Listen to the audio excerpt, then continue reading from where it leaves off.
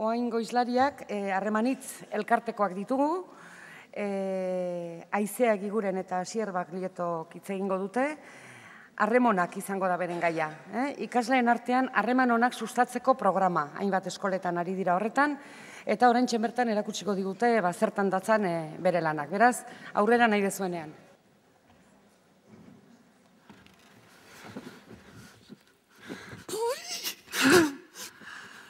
Aizea, kakain da natxion. Ikuste aldek ze jende pila. Hasi, zenbat laguntzaudek? Berreun bat? Berreun, lareun. Lareun? Hasi, berreun ezanikean, berreun egon goziela. Bona, aizea, berreun, lareun. Igual di jo, ja hemen gatxauden. Ah, bai, hori bai. Ta? Ze kristo egin berdiago gauen? Zein berdeun? Bueno, ba, gure lan azaldu ez, harremonak zer dan, herri ezitzaileak nola uztartzen dan, eta beste enkargu hori. Zen kargu? Hombre, Jose Marik enkargu aintzigun, eh? Bai. Lareun lagun saioa bukatzeako dantza jarri behar diskin hau. Da, dago gaina onartu. Erra. Bale? Baina nola inberdi hau horren beste lagun eta hain urruti egonda elkarren gandik. Ba, klasetan bezala inberko hau, ezta? Ze klasetan berdina gertatzen egun. Guri ez da gaitun klaseta eta ikasleak zauden illa bi kilometrota. Mm. Eta zeiten hau, jolasian jarri. Ze jendia jolasian jarrita urbildu ite gaitun. Aizea, iaiz espertua jolasetan. Atea zan baten bat. Ah, gaine hauek irakasle gaitun. Hauek oizuta zauden. Bai, ba, hau editu patxarrenak. Baina, bueno, a ver, jolas bat, pentsakoiat. A ver. Uh, hasi, uh, kriston jolasa zaukat. Zein? Afrikako bongola zumboru tribuko azken jolasa. Aha. Gaina iri pila hau, eta ezaik. Ja, ja. Lulula. Venga, ingo alde hau. Ba, bai? venga. Venga. Venga. Bueno, a ver, jolas bat ingo deu danon hartin, bai? Esku jolas bada. Eskuekin, istarretan txalo ingo deu. Ta ondoren, gure eskubiko eskue, gure eskubiko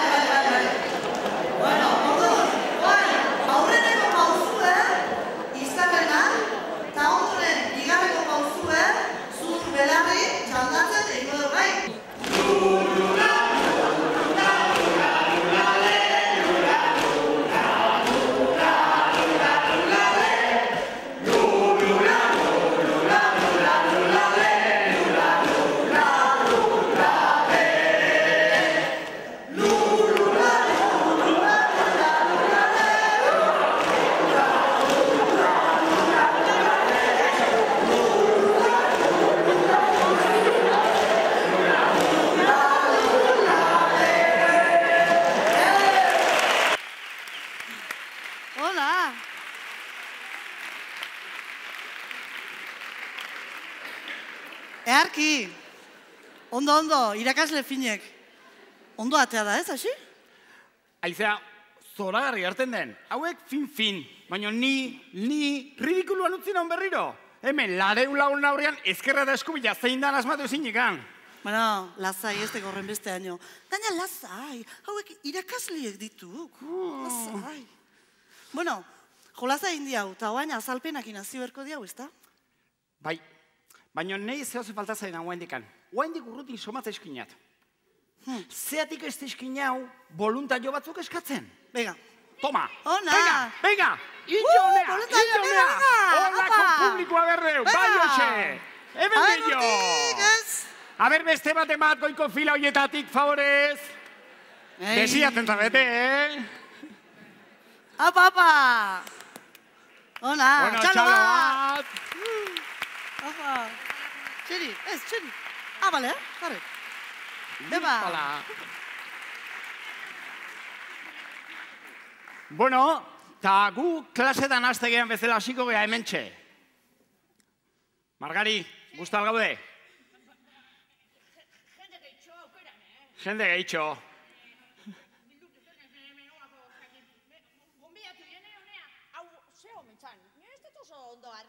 ovejas negras omentzoren hemen da. Ez dakipanik, eh? Ez dakit, eh? Bueno, ba, bai, danoke bildu gaituzte hemen herri ezitzaile proiektuan inguruan gabiltzalako, eta guk harremonak aurkeztu nahi deu. Eta harremonak hitza irakurrita, ze pasatzen zaizue zuen buruetik? Ze zeiz joko egon leizke harremonak hitzan barruan? Harremanak. Harremanak? Hori ez aldaba, itxasazpilan eta jan horiek hola, blo, blo, Ez aldi horiek. An, a, anemonak. Ah, ah, ah, Eh, ba, ba, ba, ba, ba, bai. Anemonak ebai, anemonak ebai. Ze gehiago egon leike? Ar, eme, onak. Ar eta eme onak. Hormonak. Hormonak noski. Beste bat, beste bat, baki, baki, baki, beste bat. Arre, mona! Hori de ona, ere, eh? Arre monak, Oso arre monak. Ze gehiago gehiago?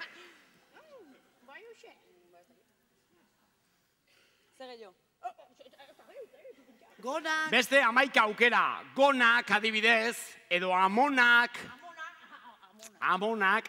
Bueno, ba, hori dana bildu nahi dugu gure egitasmoan, bai? Hormonak, arrak, emeak, harremanonak. hasi! Ta zeatik ez hau jozuk indako bideo katxarro hori ikusten? Venga, teknikari, sartu bideoa.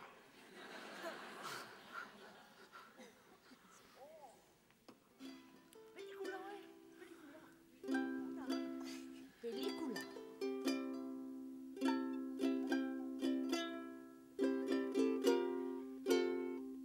Harremonak gure egitasmoa e, Bilbon jarri gendun martxan, Bilboko udalak bere garaian eskatu zigun gizonda emakumen arteko harremana eta batez ere indarkeria matxista gazteekin lantzeko.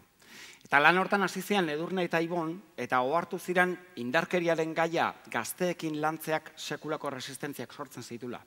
Eta batez ere mutilen aldetik. Eta horrek eraman gintun gogo eta bat egitera, ez? Zapalkuntzetara sartu nahi baldin badegu, nahi baldin badegu benetan gure jarrerei heldu eta nahi baldin badegu indarkeria bezalako gai gordin bati eskua sartu, ezinbestian tratunetatik abiatu behar dugu. Gure buruaz uste ona daukagun momentutik ausartu gaitezke gai hauei eta gure kontraesanei heltzera. Eta norabide hortan, ba, Ibon eta Edurnek pentsatu zuten beraien buruarekin tratu honetan astea, eta bizi nahi zuten herrian lan egiteko erabakia hartu zuten. Eta horrela, proposatu zuten harremonak Hernanin abiatzea. Eta Hernanin martxan jarri genuen duela zazpi urte, eta poliki-poliki handik Gipuzkoako beste hainbat herritara zabaldu genuen. Azpeiti, Askoiti, Usurbil, Orio, Andoain, eta oantxe bertan zestuan abiatuko dugu baitere. Denborarekin, lantalde aberatsa eta zabala sendoa osatu dugu, herrigintzan, feminismoan, gizontaldeetan, sexuanistasunean eta batez ere gazteekin aritzen diren lagun eta lantalde profesionala osatu dugu. Eta gure ardatz nagusia, gure egitasmoen ardatz nagusia ezkidetza da. Azken finean, neska eta mutilen artean, aukera berdintasun erreala sortzeko urratsak ematen joatea eta baldintzak sortzen joatea. Gaur egun neska eta mutilak elkarrekin azten dira, gure eskoletan eta herrietan, baino ereduak oso estereotipatuak dira. Eta belaunaldiz belaunaldi jarri, jaso ditugun horiek bere hortan mantentzen dira neurri handi batean, ez? Azken finean mundu sexista batean bizigea nun bi kolore eta bi aukera eskaintze zaizkigun. Edo arrosa, edo urdina. Edo ausarta, edo ederra. Edo salbatzailea den eh, printzea, edo zain geratuko den printzesa. Eta eskidetzaren bitartez, gure naia da pertsona osoak, anitzak eta libreak, osatzen laguntzea. Eta horretarako ezinbestekoa da, bizi ditugun gatazkak mai gaineratzea, ikustea zerk nola betetzen ditugun rol horiek, nola izan gaitezken asker rol horietatik, eta guzti horretan gure harremanei begirada ematea, ezta? Eta hori da neskamutilekin egiten saiatzen garena. Baina eskiditzari heldu nahi baldin badiogu abia puntuan tratu honek egon behar dute. Gure buruaz ondo pentsatu beharra daukagu. Izakiz zoragarria gea, gutako bakoitza. Naiz eta askotan ez dugun hori sinisten.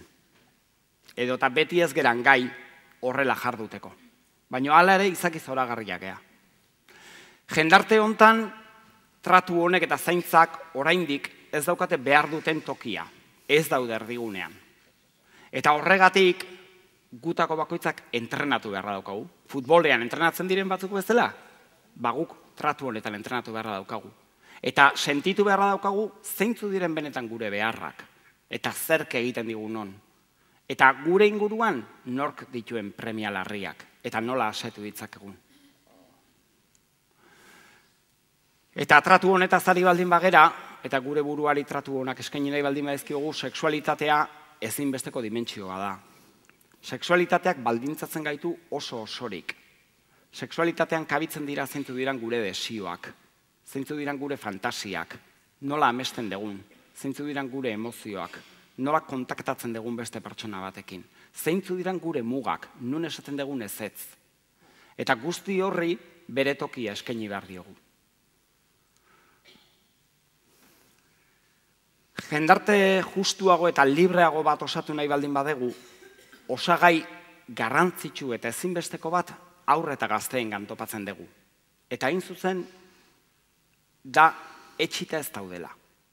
Aurre eta gazteak oaindik ez dute ikasi etxita egoten. Baten batek esan zuen, bizitza etxipenaren eskola dala. Eta zoritxarrez, goiz, oso goiz ikasten dugu etxitzen. Anekdota txiki bat kontatuko izuet. Oain dela iruzpalau aste juntatu ginean berrogeita bost mutilekin hogei urte ingurukoak. Herri unibertsitatean aldez sekulako antolaketa zeukaten egina, eta guri deitu ziguten gizonak eta indarkeriaren gaia lantzeko.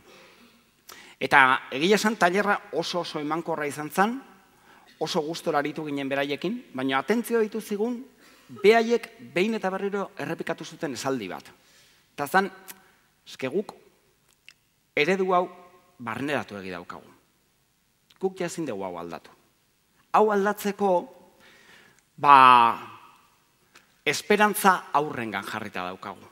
Aurrekin txiki txikitatik abiatu ezkero orduan bai, aldatu izango dugu. Hogei urterekin, etxipenaia barruan daukate. Orduan, askotan pentsatzen dugu, helduok pentsatzen dugu, edo errepikatzen dugu esaldi hau, ez? Etorkizuna gazteen gandagoel eta gazteek aldatuko dutela. Baina erantzunkizun hau gazteei eman eta segidan ez dizkiegu eskubide guztiak ematen. Gazteak eta aurrak ez dira eskubide guztien jabe. Ezin dute erabaki non, norekin eta nola ikasi nahi duten. Besterik gabe, helduak ez direlako. Eta gutako gehienen artean, zabalduen dagoen ustea da, helduok badakigula zer behar duten aurrek. Eta gehienetan asmo honenarekin gazteak erabakitzeko aukerarik edo margenik gabe uzten ditugu.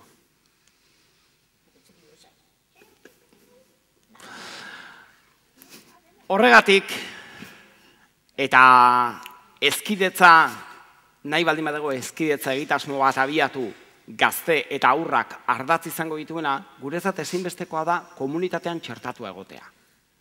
Ezinbestekoa da gazteak eta aurrak sujetu bilakatzea.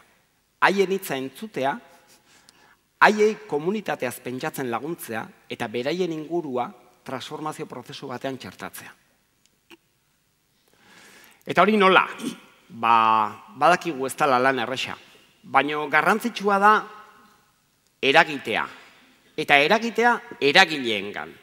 Azkenean, gazte, gazteen bizitzan eragiten duten makina bat espazio, pertsona, kolektibo eta eragile dauzkagu herri bakoitzean. Eta normalean bakoitza bere kaxa ibiltzen da. Hoietan guztietan eragiten hasi ezkero konturatzen gara batak bestearengan eragiten duela eta batak ondokoa aldatzea eragiten duela. Beraz, lana modu estrategikoan egitea da garrantzitsua. Eragileak ikutu eta eragileekin elkarlana egitea. Horrekin batera guretzat oso oso klabe garrantzitsua izan da gaztiak aktibo jartzia eta haien autoantolaketa bultzatzia.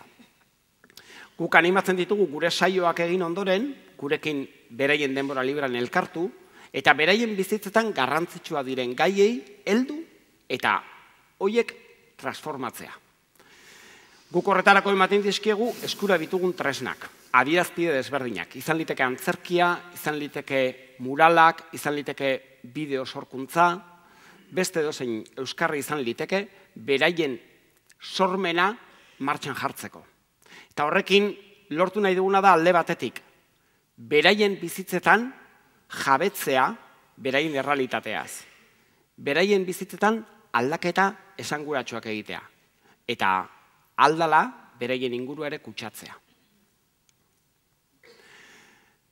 Eta gazten bizitza hartzen dugu ardatz, eta gure alegina da gazten bizi esparru guztietan ezkidetza tratu honak eta sexualitatea presente egon daitezela bai eskolan, bai jolas garaian, bai beraien aizialdian, bai familian, eta bide desberdinetatik haien bizitza osoa poliki-poliki zipresten zen jutea. Ezer behartu gabe, bideak aurrera, aurrera egiteko pausoak ematen dituen enean, sartzen gera bide bakoitzetik. Eta ikusi ez eragile mordoska batekin ari gera lanean, gero haizeak zehatzago esplikatuko izkizue, azpeitin adibidez ze eragilekin ari geran lanean, baina importantea da eragile hauek elkartzeko topaguneak sortzea. Azkenean, elkartzen geran einean, kapazagera elkarren gandik ikasteko, elkarri harreta eskaintzeko, eta e, batera proiektu berriak sortzeko, ezta? Eta beti ere, gaztiak eta gaztiak eta helduekin lan egiten dugunean saiatzen garena da pertsona bakoitzarentzat harreta eskaintzen. Denok izan dezagun hitz egiteko aukera. I, i, barkatu ya, barkatu ya, eh? Baina, baina, moztuen goiat, eh? Bai, eta? Aitu, aia ez esaten dana entzat leku eta esaten, azken amar minutu, ibe garri, ez izketan hemen, eh? Ez ari, binorrik, bate bate, bere leku ela gabe. Arrazoi, bargari. No hay espacio para todos, no, eh? Arrazoi. Emako jo mandu barduan. Ema mandua, bate bate. Apa, Oitek eta, antxo, ez da dira ba. Ez, isisildu amar minutuan. Apa Margeri, eskerrik asko. Ez horreti guapa. Sei rubia, ondo izatetan. Bueno, gaurkoatik barkako jate, hasi? bueno, bueno, nere txanda. Zeharki dutean horre xerita, eh? Bai. bueno, ze iruditzen hasi bailarako proiektu azaltze bali maet. Bai? Bega. Toma. Azpeiti askoitiko ezkidetza egitazmoa. Ez dautzen dezute, zertan datzan? Ez. Azteko eta behin, esan nahiko nuke, bailara ezkidetzaileo bat bihurtzeko, garrantzitzu edala pertsonak ezkidetzan garrantzilez ohartzie. Jabetzie, garrantzi hortaz, eta elkarrekin sortu, ditaz, sortu ditzazkegun zariek, sortu eta indartzia. Toma! Hau, saldila eta esaten da, eh? Margari, eharki ez? Bale, ondo, ba, oin segitu zen ba.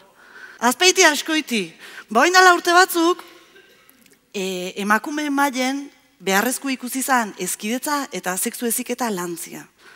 Ba, utzune bat, gabezi bat ikuste zan herrien, eta oinarri batzuk jarri nahi izan zien. Gu oindala urte gutxi batzuk hasi baginen ere, gure aurretik beste elkarte bat zegon lanien, gu bezalako beste elkarte bat. Eta oindala hiru lau bat urte edo, behaiekin bidiei heldu genion, eta giro bat ematen zaiau ginen. Ezkietza egitazmue, komunitatea eta herrira zabaltzie izen da gure apustue. Ta kontura gabe, ba, bide ezitz, ezkidetzaileei, herri ezitzaileei ekin dira. Ate bat jodeu, eta ate batek beste ate bat irikitzea eman gaitu. Beste ate bat, beste ate bat, beste ate bat, beste ate bat. Ta konturatzako kriston ate pila jo. Eta garrantzitzuna ate bakoitze, pertsona bakoitzek iriki digula. Pertsona joekin elkartu gea, bildu, antolau, eta elkar ezautzen jungea pertsona hauek. Zariek sortzen. Bakoitzek bere ere mutik, baina helburu berdinekin. Gaztiek, ba gaztiek die gure etorkizune, ba bai hasi, gaztiek ditu gure etorkizune. Eta ikastetxetan bazaio ezberdinek emate ditugu. LH seitik batxilerrea gai hauek lantze ditugu.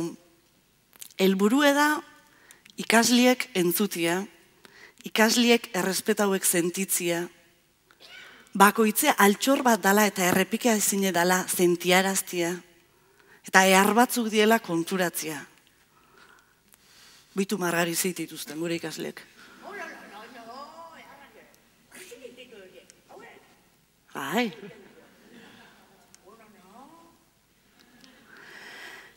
Ikasliekin, ikastetxetan, elkarrekin lan handia egiten dugun, egiten dugun arren ere, nahi ditugu behaien aixialdien gai hauek jorratzen animatzea. Eta nola? Ba, pasan ikasturtien, bideuen edurnek esan duen bezala, ba, azpeitin, en, ikasle baten aurkako erazo bat eman zan, eta horren arira, ba, harreman hitzetik junginen interbentzio bat egitea, ikastetxea, eta gurazuekin bildu ginen, he, Gurazuekin bildu ginen, ikasliekin bildu ginen, eta ohartu ginen, beste behin, ikasliek entzute bali maitugu, errespetatzen bali maitugu, gune bat ezkeintze bali maitu, kriston potentziala eta indarra dutela gauzak egiteko. Eta babestu egin genitun. Maremore taldie sortu zuten, ikasle hauek. Garbizauke bentzerrein nahi zuten. Erazo, eman, erazo hori eman ondoren, ba, bildurren inguruko lanketa bat egin nahi zuten ba, emozioei jarri genien arreta. Ta ikasturtien zehar, ba, emozioetan e, tailerrak, e, dinamika desberdinek egin genitun gai hau jorratzeko. Gune ilunak identifikatu genitun herrien, eta gune horietako bat hartu genuen, eta koloreztatu egin genuen. Margotu, gure aldarrikapena kalea eta ganitun, eta bizile eman genion espazio horri. Ta aurtene maremorekuek hor da biltz, jota fuego. Aurten maitasun romantikoen inguruko lanketan da biltz. Ba hor daude barnegatazkan maitasune bat eta bakarra, naranja erdien kontzeptu edala. Ba taller desberdinek egin ditugu eta baina idie antzerki obratxo bat prestatzen eta behaien azmu da ikastetxiek, ikastetxe ezberdin eta jutie, behaien obra horrekin, ondoren, ba, hausnarketa bat bultzatzeko ikasle hauekin.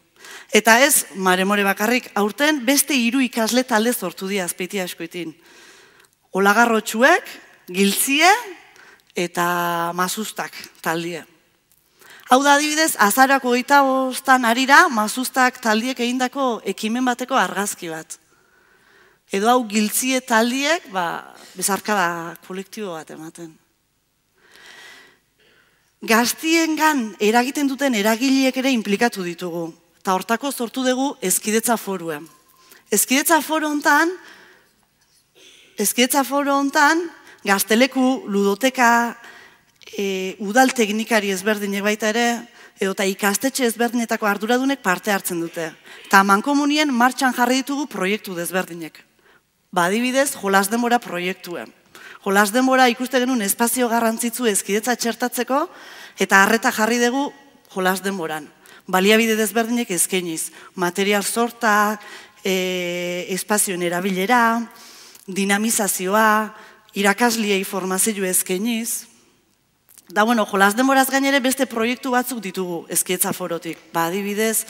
Mm, Adibidez, aizea, aizea Ai, asko sentitzen dut. Ze papela tokatu zaidan, ez da? Bai, bai. Bukatu behar daukagu. Vale. Minutu bat zerbait esan nahi badezue, Bale?